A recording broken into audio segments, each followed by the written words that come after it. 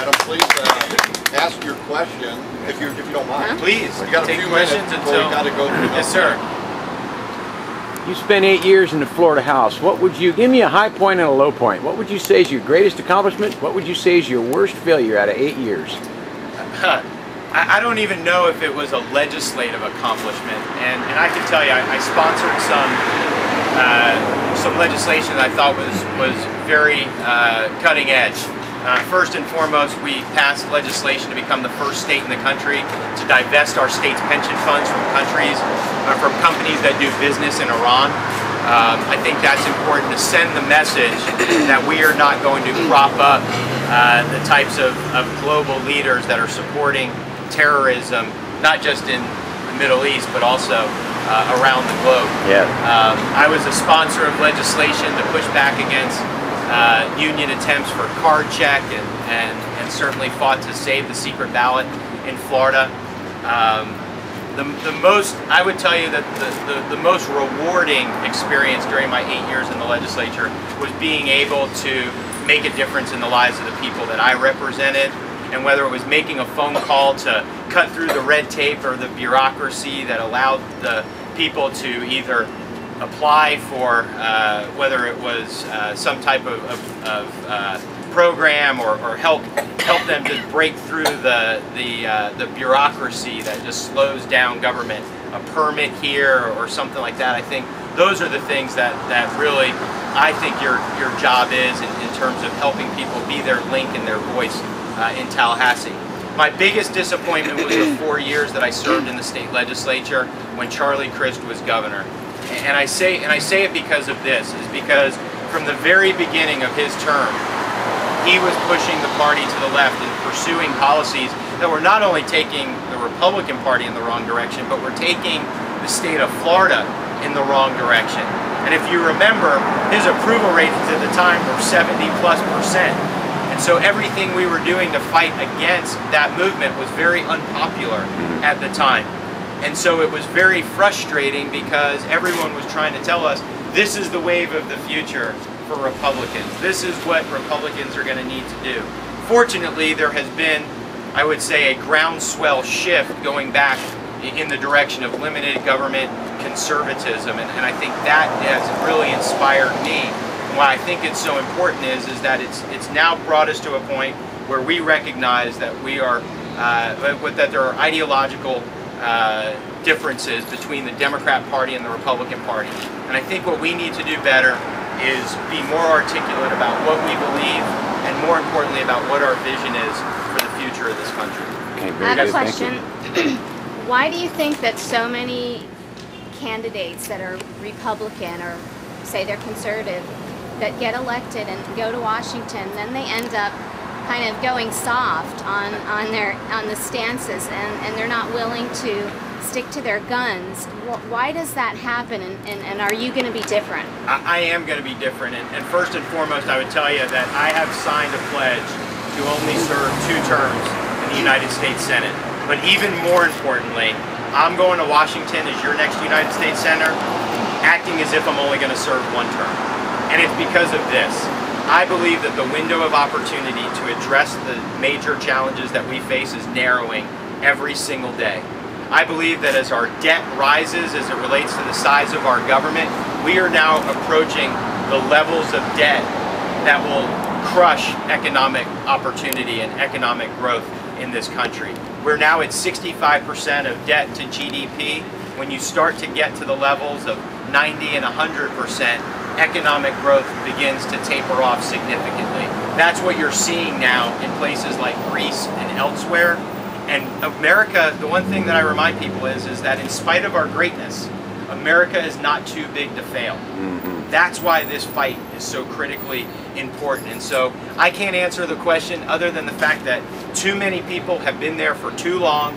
They're growing old in the United States Senate. They have lost touch with the people that they represent, and they are more concerned about some type of process-oriented deal Bill Nelson. than they are with the actual policies. But it's not just Bill Nelson. It's a lot we of see people, it on our own Republican side where we have senators who have been there for 24 or 30 or 36 years. What That's about just, term that's limits? Just, Is I, that a I support- possibility? I, I am going, one of the first bills that I sponsor in the United States Senate is going to be a constitutional amendment for congressional term Right. limits. And as I told you, I am only going to serve 12 years in the United States Senate if you give me the privilege and honor to be your next United States Senator. But I believe that the first term is going to be critical because if we kick the can, as we're talking about doing right now, to after the 2012 election, the opportunity from that point in time to promote the policies and implement the policies for economic growth, for stronger national security, we're we're going to be running out of time very soon. And so I think this is this is that line in the sand moment right now. Yes, ma'am. Government is too big. What would you cut first? I, I think first and foremost is that you have to understand, and I think you do, that that all of the all of our uh, federal budget in Washington, over 60% is non-discretionary.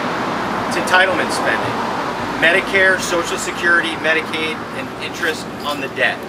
And so while I certainly have a plan to begin to cut domestic discretionary spending, I would start with Department of Education to see a devolution of power back to the states. Department of Energy, HUD, transportation so that you can block grant funding back to the states. Those are the things that we need to do. Government has gotten far too big, but the reality is is that unless we address the 60% of our budget, we're never going to be able to get to where we need to go. Now, there are some Republicans who are out there saying that we can kick the can for 25 years before we need to reform Medicare.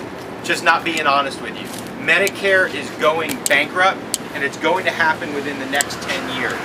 That's why I support the Paul Ryan plan, not because it's the, the best plan, but it's the only serious plan out there right now that addresses the fact that Medicare is going to be insolvent by 2024 and we need a new system for people 55 years and younger. And so if we don't address the entitlements, we're never going to be able to balance our federal budget, which I believe is something critically important for us to be able to do because we know Democrats and Republicans in Washington won't do it unless they're forced to do it. And so we have to be able to reform Social Security, raising the retirement age, changing the way benefits are calculated, giving people more freedom to be able to own their own retirement accounts.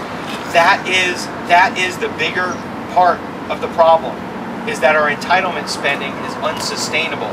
And so while we can change the way that we uh, fund foreign aid, uh, critically important, what we fund to the United Nations as well, those alone, those spending reductions and cuts and eliminations alone will not get us to where we need to be.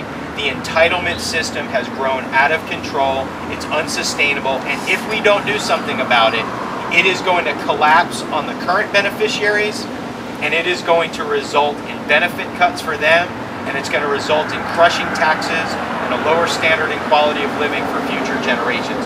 That's what we're fighting for. That's why it's not just about domestic spending or military spending. We have got to tackle head on entitlement spending. Have you seen the Rand Paul budget? I have, and, the, and and I support a great deal of it. What I what it concerns me most is that there's no specific plan for Medicare. It just says we're going to put it over to a group of people that's going to come up with a patient-centered system. The Paul Ryan plan actually creates the patient-centered system. The one that says we're going to change the disconnect that exists right now between patients going to see their doctors, their doctors billing the government, and the government paying for it without the patient understanding what the costs are. That fee-for-service system is leading to high healthcare inflation, and with 10,000 baby boomers a day joining Medicare, those two factors together are what are putting Medicare on the path to insolvency. And so there's a lot in the Paul in the uh, Rand Paul plan that I support, but the reality is is that I believe that we need to have specifics, and that's why I, I believe that the Paul Ryan plan provides that on Medicare, where the Rand Paul plan doesn't. But the Republican Study Committee, I was a supporter of the Republican Study Committee plan as well, and I think that that's something that I guess in 2013 will will come back again because we're probably going to be even deeper in debt and have even larger deficits by that point in time. So I think that's important. I came from a country which was the government owned everything, control Yeah. everything. I hope this it's not going to go the same thing now because Yeah. once the government put the nose on everything else, this is no more democracy. That's one thing I to say. Second is, I saw Obama. I don't know. If this is was my imagination. I'm not asking you as a future senator. They said we are 14 and a half trillion in debt. One trillion is like 63 mile long if you put a thousand dollar Right. bills. But that's that's besides the point. He said in the next decade, that decade supposed to be 10 years. He will say to us 2 trillion. Right. If you divide 14 and a half trillion by 2, that meaning times 7, it took almost 80 years to break even. Is, is that the reality? Actually.